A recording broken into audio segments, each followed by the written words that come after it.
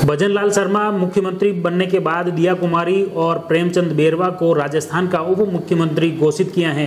एक तरह से भाजपा ने इस बार फिर यह निर्णय देकर सबको चौंका दिया है। आपको बता दें कि पहले शिक्षा मंत्री रह चुके वासुदेव देवनानी को स्पीकर घोषित किया है। राजस्थान विधानसभा का अध्यक्ष घोषित किया है वासुदेव देवनानी को और मुख्य रूप से भजनलाल शर्मा, राजस्थान के नए मुख्यमंत्री जो पहली बार विधायक बनकर गए हैं और उन्हें सीएम पद के लिए प्रस्ताव रखा और सर्व सहमति से पारित कर दिया है।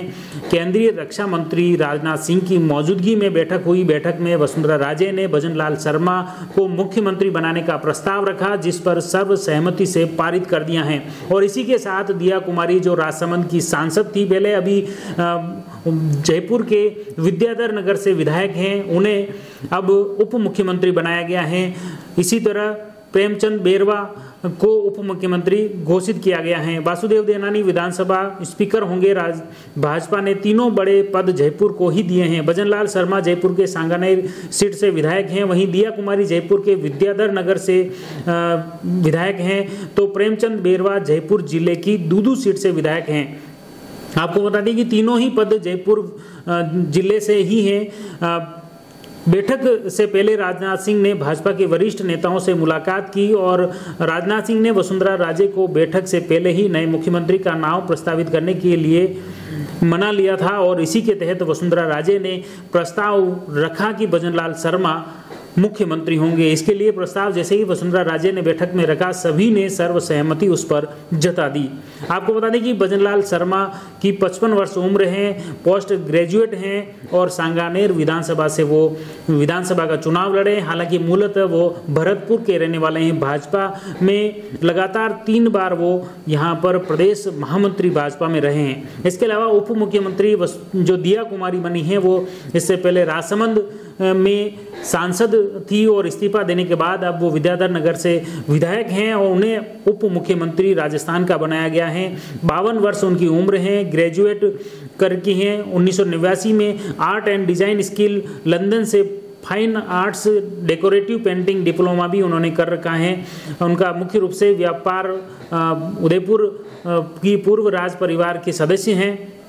उनके दो बेटे और एक बेटी हैं।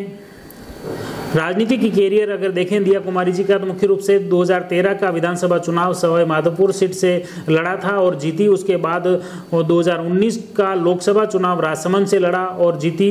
और अब विद्याधर नगर जयपुर से उन्होंने चुनाव लड़कर विधायक बनी है और अब उन्हें राजस्थान का उप मुख्यमंत्री बनाया गया है। प्रदेश मुख्यालय पर बैठक से पहले राजनाथ सिंह के साथ सभी विधायकों का ग्रुप फ़ोटो सेशन हुआ और उसके बाद ग्रुप फ़ोटो खींचने के बाद बैठक की शुरुआत हुई और शुरुआत शुरुआत होते ही वसुंधरा राजे ने भजनलाल शर्मा को मुख्यमंत्री बनाने का प्रस्ताव रखा। विधायक दल बैठक में और बैठक में सभी विधायकों ने सहमति जताई है। आपको बता दें कि भजनलाल शर्मा मुख्यमंत्री बने हैं। इसी तरह प्रेमचंद बेरवा को उप मुख्यमंत्री दिया कुमारी को उप मुख्यमंत्री और वासुदेव देवनानी को राजस्थान का विधानसभा अध्यक्ष चुना गया है।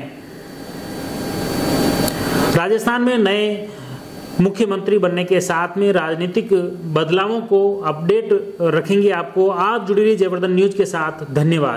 The Maruti Nandan grand Nathdwara स्थित एकमात्र ultra luxurious five star hotel. Rajsamand ज़िले की एकमात्र five star hotel the Maruti Nandan grand में भोजन की स्वादिष्ट थाली अब सिर्फ़ दो सौ नब्बे रूपए में। श्रीनाथ जी की नगरी नाथ द्वारा में इस सुनहरे अवसर का आनंद अवश्य उठाएँ।